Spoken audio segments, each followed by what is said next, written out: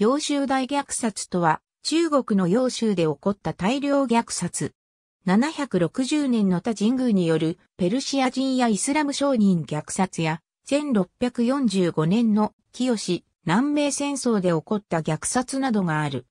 760年の東大に、安氏の乱やり望み列の乱兵帝に参与した他、神宮が、揚州で略奪し、個人やペルシア人商人やイスラム教徒などの外国人を数千人虐殺した。旧、当女にはこのように記録されている。上元元年、為平路節度土地平橋、県航路橋、お定州派族四千余州、正金逆族大将四人、牛馬機械負荷少数。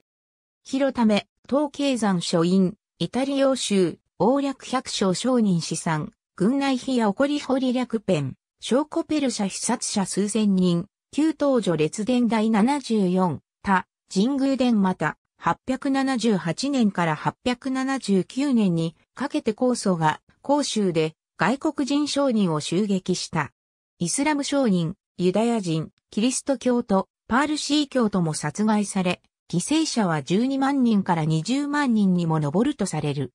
洋州虐殺1645年旧暦4月から5月にかけて、真のヌルハチの15男の余震のドド軍が南米のシカ砲軍と戦闘した際に、洋州で大規模な殺戮を行い、死者は80万人に上った。ドドの軍は、広光帝の立てこもる南京も攻め落とし、広光帝は翌年北京で処刑された。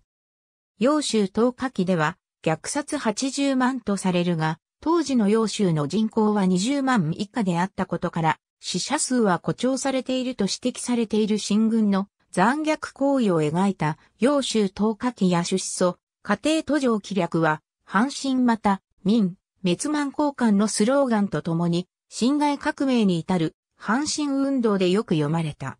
ありがとうございます。